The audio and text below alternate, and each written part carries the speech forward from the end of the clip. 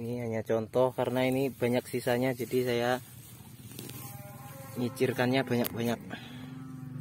Mungkin segini cukup standarnya ya. Lebih dikit lagi juga nggak apa-apa.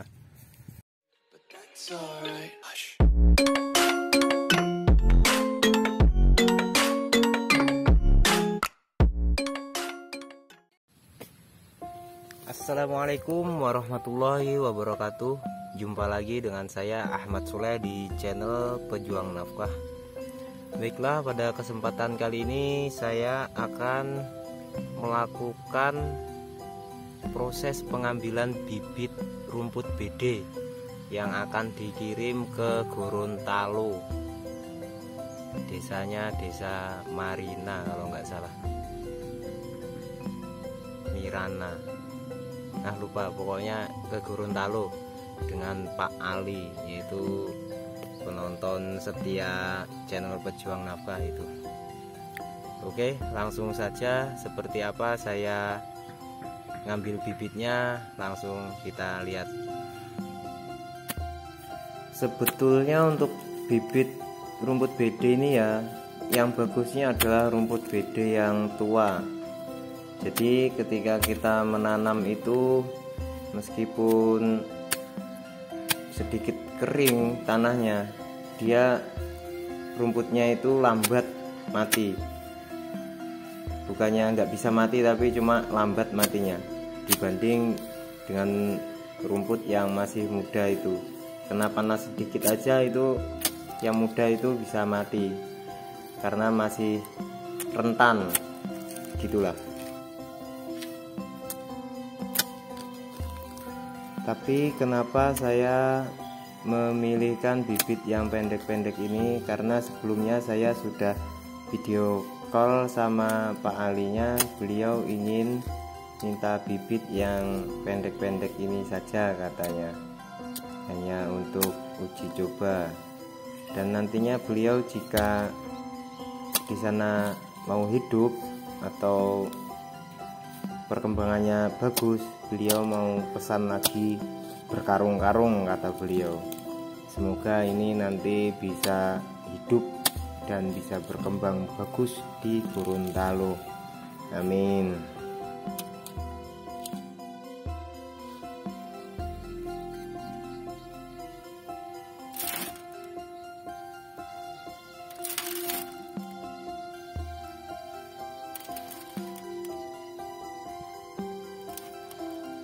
karena ini sudah terlalu senja jadi saya lanjutkan besok pagi untuk memakingnya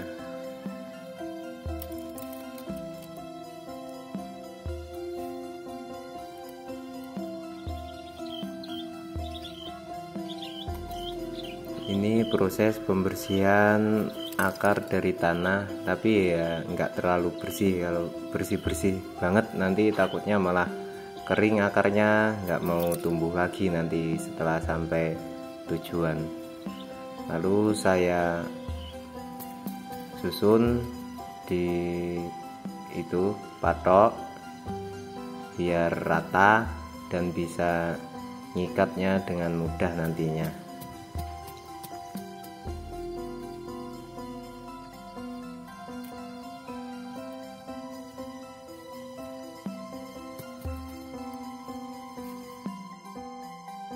jadi seperti ini penampakannya. Patok kanan kiri. Kasih tali bawahnya. Baru kita susun rumput BD di atasnya. Nah seperti itu. Lalu kita ikat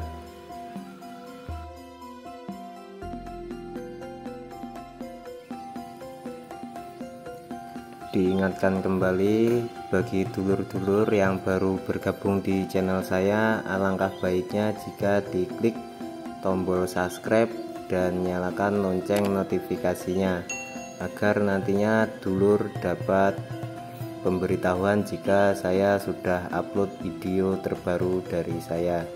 Dan jangan lupa tinggalkan komentar juga. Bagikan video ini jika dirasa bermanfaat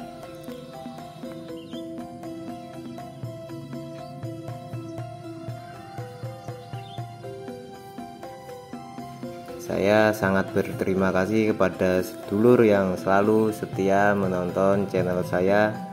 Dan semoga para subscriber dan penonton dimurahkan rezekinya. Jika dalam keadaan sakit semoga disembuhkan Allah Subhanahu wa taala. Dan jika masih jomblo semoga cepat mendapatkan pasangan pendamping hidupnya amin amin ya robbal alamin.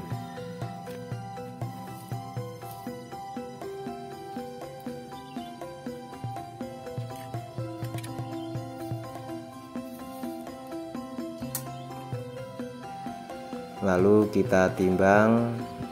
Untuk hari ini saya ngirim dua tujuan yaitu pertama ke Gorontalo yang kedua ke Majalengka dan ini yang untuk Majalengka beliau order 5 kilo.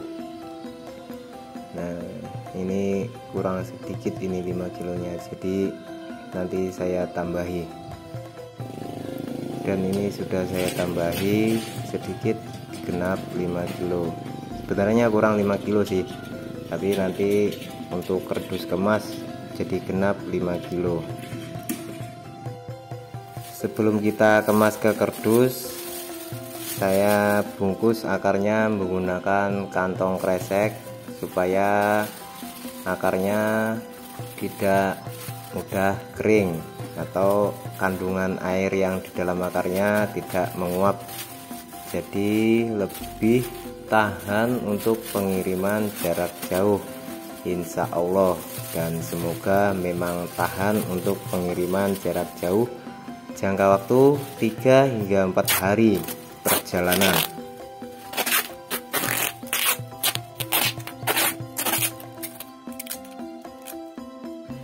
Setelah kita bungkus plastik akarnya barulah kita kemas ke dalam kardus Oh iya kenapa itu ujung rumputnya enggak saya ratakan atau enggak saya pangkas? Itu menurut saya itu jauh lebih bagus yang enggak dipangkas ketimbang ya dipangkas karena nanti waktu kita tanam dia akan lebih cepat berkembang. Rumput BD berkembang melalui ruas-ruas itu, bukan melalui peranakan. Dan dia akan selalu mengisi ruang-ruang yang kosong di sebelah-sebelahnya. Sehingga yang panjang itu nantinya akan lebih cepat menyebarnya ke samping-samping yang kosong. Begitulah kira-kira.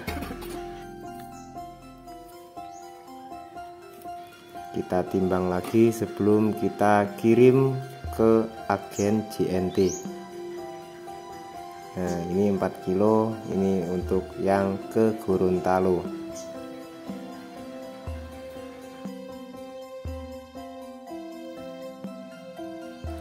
Oke kita selesai pengemasan. Sudah kita tulis penerima siapa dan siap jus ke JNT jadi untuk contoh budidaya rumput BD bisa kita gunakan cara seperti ini. Langkah awal kita lubang tanah dengan ukuran 30 hingga 40 cm persegi seperti ini. Bisa menggunakan cangkul atau alat lubang sejenis lainnya. Semakin rapat semakin bagus jika memiliki rumput yang banyak. Jadi setelah kita lubang ini misalkan bibit yang sudah kita siapkan ini bibitnya. Sebetulnya lebih bagus kalau tanahnya tanah asalnya nggak kita buang. Ini kemarin karena sisa kita kirim ya ke Gorontalo dan Majalengka ada sisanya. Karena kalau nggak eh kalau tanahnya ikut kekirim jadi berat di tanah daripada rumputnya. Ini rumputnya ini sangat ringan ini. Kalau tanahnya ikut ya berat di tanahnya daripada rumputnya. Jadi saya kirim tanahnya dibuang. Oke bisa kita icirkan dulu. Seperti ini.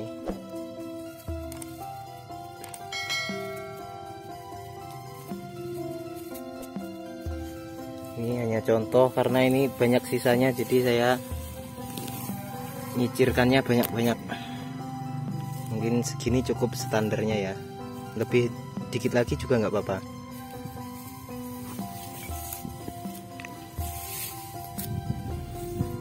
Susah ini megang HP sendiri nggak ada kameramen.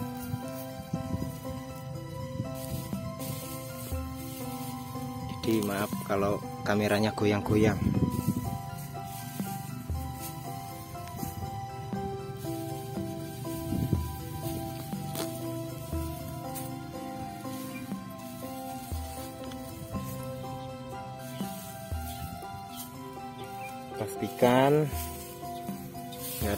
liar yang tumbuh. Karena jika ada rumput liar yang tumbuh nanti akan menghambat pertumbuhan rumput BD tersebut. Oke setelah kita icir-icirkan kita uruk tanah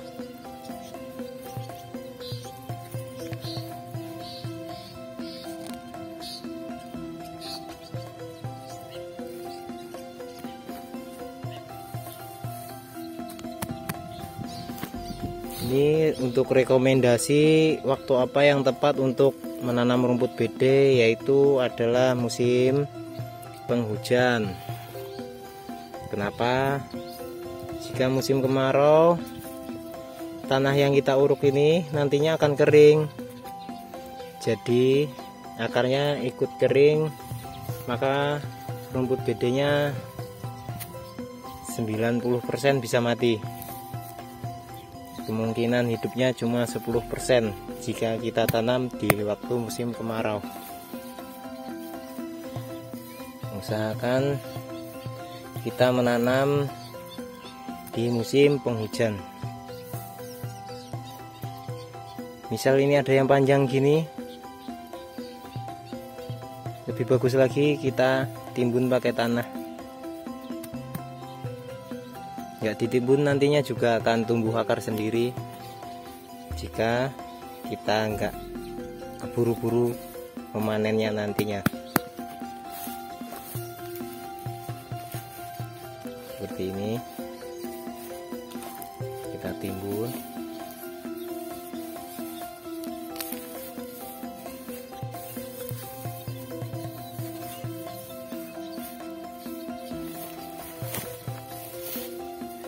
misalnya ada yang panjang ini sebenarnya kalau diuruk tanah lebih bagus tapi nggak diuruk juga nggak apa-apa. Yang penting akar pokoknya kita timbun. Seperti ini. Dan saya rekomendasikan setelah kita tanam seperti itu kita kasih pupuk kotoran ternak baik itu kambing domba sapi ayam tapi di sini lebih bagus kotoran ayam petelur atau ayam po, pe, ayam potong ayam pedaging. Karena apa? Kalau ayam petelur dan ayam pedaging itu dia nggak makan rumput jadi tidak ada benih-benih rumput liar nantinya yang akan ikut tumbuh di tanaman rumput BD kita. Tapi nanti kalau sudah sebanyak itu mau kita sebar pupuk kotoran sapi pun nggak ada masalah karena sudah dipenuhi dengan rumput BD dan rumput liarnya akan lebih sulit tumbuh kalah dengan rumput BD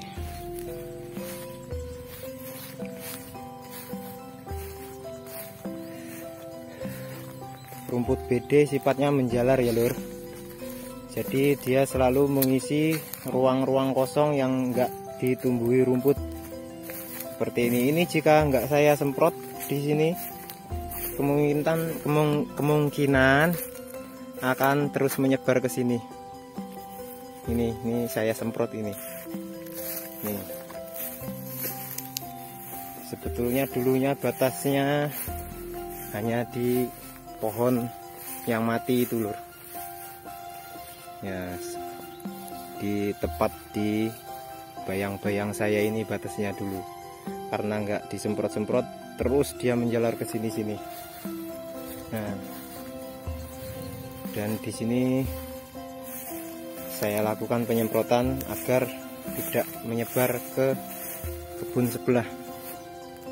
Ini kebun rumput gajah tapi nggak saya rawat lagi.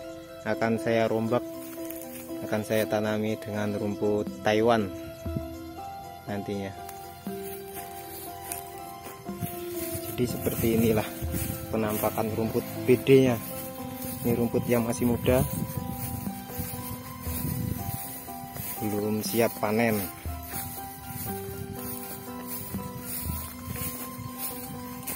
Nah ini saya kasih contoh ini rumput BD yang menjalar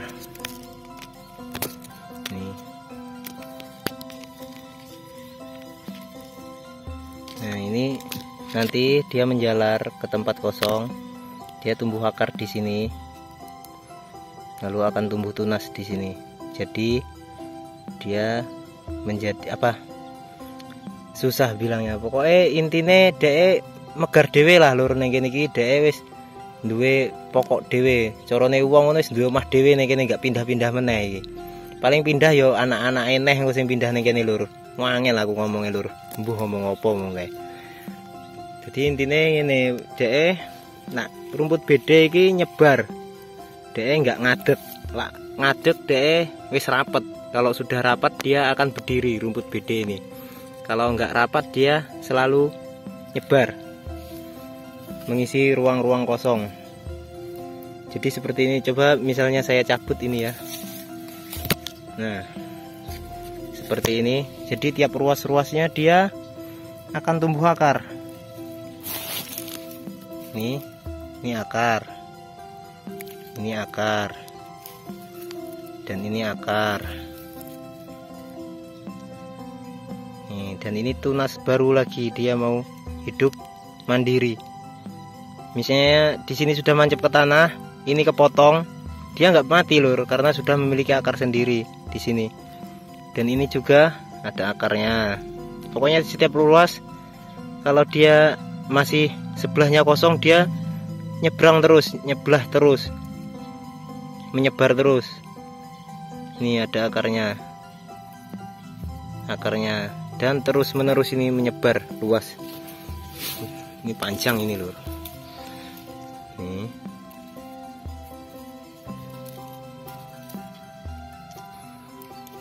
batang utamanya masih di sini. Ini menyebar akar tumbuh tunas lagi. Ini nantinya juga akan tumbuh tunas. Ya, begitulah. Oke, Lur, sekiranya cukup sampai sini dulu video dari saya. Semoga bermanfaat bagi teman-teman yang mau pesan rumput BD mungkin kalau sekilo dua kilo akan saya bikinkan pengiriman paketnya.